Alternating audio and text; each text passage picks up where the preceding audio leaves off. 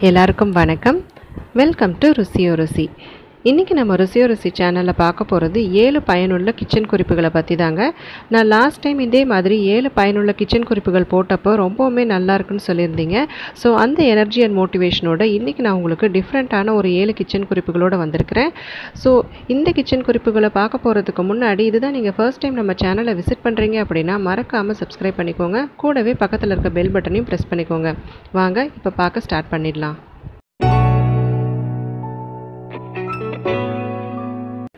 இன்றைக்கி நம்ம முதலாவதாக பார்க்க போகிற கிச்சன் டிப் என்னன்னு சொல்லி பார்த்தீங்கன்னா சப்பாத்தி மாவை எப்படி ட்ரை ஆகாமல் பாதுகாக்கிறதுன்னு சொல்லி தாங்க நம்ம யூஸ்வலாக சப்பாத்திக்கு மாவு பிசையும் போது எக்ஸஸாக இருக்க மாவை ஃப்ரிட்ஜில் எடுத்து வைப்போம். அந்த மாதிரி ஃப்ரிட்ஜில் எடுத்து வச்சிங்க அப்படின்னா இந்த மாதிரி ட்ரை ஆகிறதுக்கான சான்சஸ் நிறையாவே இருக்குது ஸோ இந்த மாதிரி ட்ரை ஆகாமல் எப்படி பாதுகாக்கிறதுன்னு சொல்லி தாங்க நம்ம இன்றைக்கி பார்க்க போகிறோம் இந்த மாதிரி மீதியாகிற சப்பாத்தி மாவை நல்லா சப்பாத்திக்கு மாவு பிசைகிற மாதிரியே நல்லா பிசைஞ்சுக்கோங்க. இந்த மாதிரி பிசைஞ்சதுக்கப்புறமா ஒரு நல்ல ஏர்டைட் பாக்ஸில் போட்டுட்டு நல்லா அமுத்தி விட்டுருங்க. அமுத்துனதுக்கப்புறமா ஒரு ஒன்றுலேருந்து ரெண்டு டேபிள் ஸ்பூன் அளவுக்கு நல்லெண்ணெய் இருக்கு இல்லைங்களா? அந்த நல்லெண்ணெயை இந்த மாதிரி ஊற்றிட்டு எல்லா பக்கமும் ஸ்ப்ரெட் பண்ணி விடுங்க.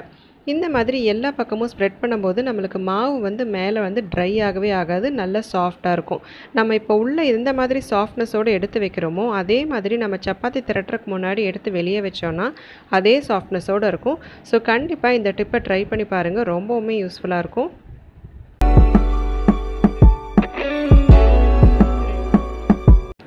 நம்ம அடுத்ததாக பார்க்க போகிற டிப் என்னன்னு சொல்லி பார்த்தீங்கன்னா உருளைக்கிழங்கோட தோலை எப்படி ஈஸியாக உருவுறதுன்னு சொல்லி தாங்க நம்ம யூஸ்வலாக ப்ரெஷர் குக்கரில் உருளைக்கிழங்கை போட்டு தண்ணியை ஊற்றி வேக வச்செடுப்போம். ஒரு சில நேரங்களில் பார்த்தீங்கன்னா தோல் வந்து அப்படியே ஒட்டிக்கும் உருளைக்கிழங்கோட. இல்லை அப்படின்னா உருளைக்கிழங்கு கெட்டியாகவே இருக்கும் சாஃப்டாகவே இருக்காது. ஸோ இதை அவாய்ட் பண்ணுறதுக்கு நீங்கள் தண்ணி ஊற்றுனதுக்கப்புறமா அது கூடவே ஒரு ஒரு டேபிள் ஸ்பூன் அளவுக்கு எண்ணெய் சேர்த்துக்கோங்க. அதுக்கப்புறமா ஒரு அரை பிஞ்சிலேருந்து ஒரு பிஞ்ச் அளவுக்கு சால்ட் உள்ளே சேர்த்துக்கோங்க. இது சேர்த்ததுக்கப்புறமா நல்லா ஒரு மிக்ஸ் பண்ணிவிட்டு ப்ரெஷர் குக் பண்ணி எடுத்தீங்க அப்படின்னா உருளைக்கிழங்கோட தோல் வந்து நல்லாவே உருவிட்டு வருங்க. நீங்கள் கண்டிப்பாக இந்த டிப்பை ட்ரை பண்ணி பாருங்கள் ரொம்பவுமே யூஸ்ஃபுல்லாக இருக்கும்.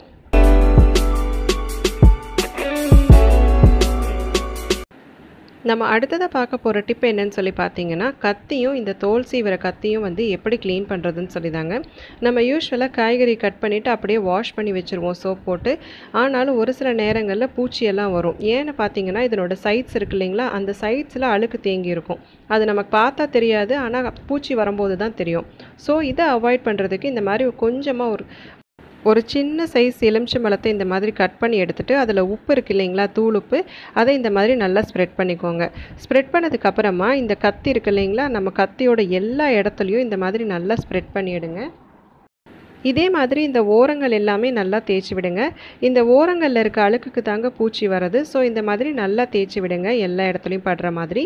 இதே மாதிரி காய் சீவிர கத்துலையும் தேய்ச்சி விட்டுருங்க. ஏன்னா அந்த இடுக்கில் தான் நல்லா அழுக்கு தேங்கியிருக்கும் பூச்சி வரும். ஸோ இந்த மாதிரி தேய்ச்சதுக்கு அப்புறமா ஒரு ஃபைவ் மினிட்ஸ் வச்சுட்டு நீங்கள் யூஸ்வலாக கழுவுற மாதிரி சோப் போட்டு கழுவி எடுத்து வச்சுருங்க.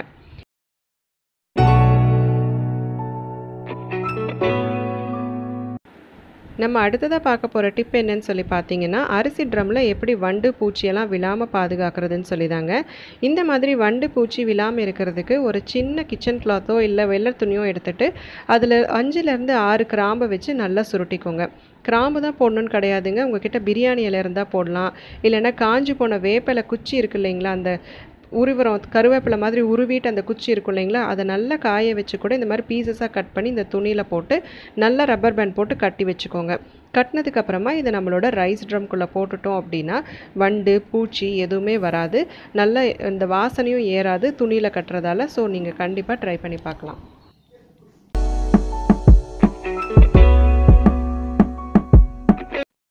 நம்ம அடுத்ததாக பார்க்க போகிற டிப் என்னன்னு சொல்லி பார்த்தீங்கன்னா நம்ம பாத்திரம் கழுவுறதுக்கு யூஸ் பண்ணுற இந்த ப்ரெஷ்ஷை வந்து எப்படி க்ளீனாக வச்சுக்கிறதுன்னு சொல்லி தாங்க நம்ம பொதுவாக பாத்திரம் கழுவுனதுக்கப்புறம் சும்மா தண்ணியில் வந்து வாஷ் பண்ணி வச்சுருவோம். அந்த மாதிரி வைக்கும்போது பார்த்தீங்க அப்படின்னா ஒரு சில நேரம் ஃபுட் பார்ட்டிகல்ஸ் உள்ளேயே இருக்கும். அது நம்ம கண்ணுக்கு தெரியாது. ஸோ திருப்பி திருப்பி மேலே மேலே தேய்க்கும் போது அது நம்ம உடம்புக்கு தான் சேராமல் போயிடுங்க. ஸோ இதை அவாய்ட் பண்ணுறதுக்கு நம்ம இன்றைக்கி என்ன பண்ண போகிறோம் அப்படின்னா கொஞ்சமாக ஒரு பவுலில் தண்ணி எடுத்துக்கோங்க. தண்ணி எடுத்ததுக்கப்புறமா நம்ம யூஸ் பண்ணுற லிக்விட் சோப்போ இல்லை நீங்கள் வந்து விம் பாரோ எது யூஸ் பண்ணிங்கனாலும் அது கொஞ்சமாக உள்ளே விட்டுக்கோங்க. உள்ளே சேர்த்ததுக்கப்புறமா இது கூடவே ஒரு அரை டீஸ்பூன் அளவுக்கு பேக்கிங் சோடா இருக்கு இல்லைங்களா? அந்த பேக்கிங் சோடாவை உள்ளே போட்டுக்கோங்க. உள்ளே போட்டுட்டு இதை ஒரு நல்லா மிக்ஸ் பண்ணிவிட்டு இதை அடுப்பில் ஏற்றி சூடு பண்ண ஆரம்பிங்க. இந்த மாதிரி மேலே நல்லா நுரக்கட்டி வரும் பாருங்கள் ஸோ இந்த மாதிரி நுரக்கட்டி வரும்போது நம்ம எடுத்து வச்சுருக்கக்கூடிய கிச்சன் ஸ்க்ரப் எல்லாத்தையுமே உள்ளே போட்டுக்கோங்க. போட்டுட்டு இதை நல்லா ஒரு குலுக்கு குலுக்கிட்டு ஸ்டவ் ஆஃப் பண்ணி வச்சுடுங்க. ஆஃப் பண்ணதுக்கப்புறமா நீங்கள் வந்து தனியாக எடுத்து வச்சுட்டு அதனோட சூடு ஓரளவுக்கு போகிற அளவுக்கு வெயிட் பண்ணணும். ரொம்பவும் சூடு போய் ஜில்லாகிற அளவுக்கு விடக்கூடாது. கை பொறுக்கிற அளவுக்கு சூடு வந்ததுக்கப்புறமா அதை எடுத்துட்டு நல்ல டேப் வாட்டரில் நல்லா கசக்கி வாஷ் பண்ணிவிடுங்க வாஷ் பண்ணி நல்லா ஆற வச்சுருங்க. ஆற வச்சதுக்கப்புறமா பார்த்தீங்க அப்படின்னா ஃபுட் பார்ட்டிகல்ஸ் ஏதாவது இருந்ததுன்னா சுத்தமாகவே க்ளீன் ஆகி உங்களோட ஸ்க்ரப்பரே வந்து கொஞ்சம் பளிச்சுன்னு ஆன மாதிரி ஒரு டிஃப்ரென்ஸ் தெரியுங்க. ஸோ அந்த மாதிரி ஆனதுக்கப்புறமா நீங்கள் யூஸ்வலாக விளக்கறதுக்கு யூஸ் பண்ணிக்கலாம். ஸோ இந்த மாதிரி அட்லீஸ்ட் வாரத்தில் ரெண்டு தடவை பண்ணும்போது உங்களோட ஸ்க்ரப்பரும் நீட்டாக இருக்கும். நீங்களும் நல்லா ஹெல்த்தியாக ஹைஜீனிக்காக இருக்கிறத ஃபீல் பண்ண முடியும். ஸோ கண்டிப்பாக இதை ட்ரை பண்ணி பாருங்கள்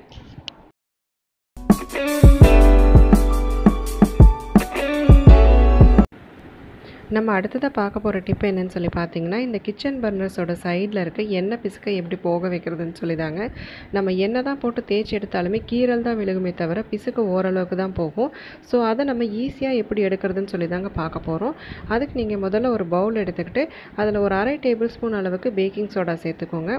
பேக்கிங் சோடா சேர்த்ததுக்கப்புறமா நல்லா தண்ணியை வந்து சூடு பண்ணிவிட்டு அந்த தண்ணியை வந்து இந்த பேக்கிங் சோடாவோட மிக்ஸ் பண்ணிக்கோங்க.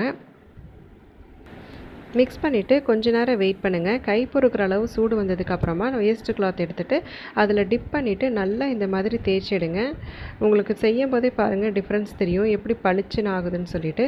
இதே மாதிரி நீங்கள் எல்லா பக்கமும் பண்ணி எடுத்துட்டீங்க அப்படின்னா உங்களோட எண்ணெய் பிசுக்கு பர்னரில் இருக்கிறது எல்லாமே போயிடும்.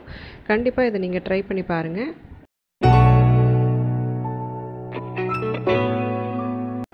நம்ம அடுத்ததாக பார்க்க போகிற டிப் என்னன்னு சொல்லி பார்த்தீங்கன்னா கிச்சன் சிங்கை எப்படி க்ளீன் பண்ணுறதுன்னு சொல்லி தாங்க நம்ம என்ன தான் அந்த ஹோல்ஸ் இருக்க போர்ஷனாக நைட் அடைச்சியே வச்சுருந்தாலும் அந்த டியூப் இருக்கு இல்லைங்களா?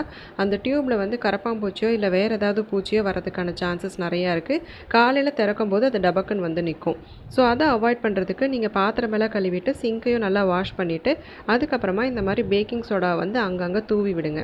இந்த மாதிரி எல்லா பக்கமும் கொஞ்சம் நல்லா தூவி விட்டதுக்கப்புறமா ஒரு அரை எலுமிச்சம்பழத்தை எடுத்துகிட்டு இந்த மாதிரி நல்லா பிழிஞ்சு விடுங்க.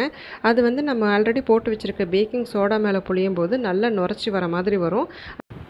அது ஒரு கெமிக்கல் ரியாக்ஷன் தான். நீங்கள் அதுக்கு பயப்பட தேவையில்லை. ஸோ நல்லா நுரைச்சி வரட்டும். இந்த மாதிரி எலுமிச்சம்பழத்தை பிழிஞ்சு விட்டதுக்கப்புறமா கொஞ்சமாக சொம்பில் தண்ணி எடுத்து அதை எல்லா பக்கமும் படுற மாதிரி தெளித்து விடுங்க. அப்படி தெளித்து விட்டதுக்கப்புறமா ஒரு ஃபிஃப்டீன் மினிட்ஸ் அப்படியே விட்டுருங்க. ஃபிஃப்டீன் மினிட்ஸ் நல்லா எல்லா இடமும் ஊறி உதாகட்டும் அதுக்கப்புறமா ஒரு ஸ்க்ரப்பரை வச்சு நல்லா தேய்ச்சி விடுங்க. தேய்ச்சி விட்டீங்க அப்படின்னா நம்மளோட சிங்க் வந்து நல்லா பளபளபளன்னு ஆகிடுங்க அதுக்கப்புறமா நீங்கள் டேப் தண்ணியை திருப்பி விட்டீங்க அப்படின்னா அந்த பேக்கிங் சோடா எலுமிச்சம்பழத்தோட கலவை வந்து அப்படியே டியூப் வழியாக போகும்போது அதில் ஏதாவது பூச்சி ஏதாவது இருந்ததுன்னா அதுவும் அடிச்சிட்டு போயிடும். இதுவே இன்னும் சுடுதண்ணி ஊற்றுனீங்கன்னா இன்னுமே எஃபெக்ட் இருக்கும். ஸோ ட்ரை பண்ணி பாருங்கள் இப்போ சொன்ன இந்த கிச்சன் ட்ரிப்ஸ் ஏழுமே உங்களுக்கு ரொம்பவுமே பயனுள்ளதாக இருக்கும்னு நினைக்கிறேங்க. கட்டாயமாக நீங்களும் ட்ரை பண்ணி பாருங்கள் இந்த வீடியோ பிடிச்சிருக்குன்னு நினைக்கிறேன். பிடிச்சிருந்தா லைக் பண்ணுங்கள் ஷேர் பண்ணுங்கள் மறக்காமல் நம்ம ருசியோ ருசி சேனலை சப்ஸ்கிரைப் பண்ணுங்கள் நாளைக்கு ஒரு அட்டகாசமான ரெசிபியோடு உங்களை நான் மீட் பண்ணுறேன் until then take care bye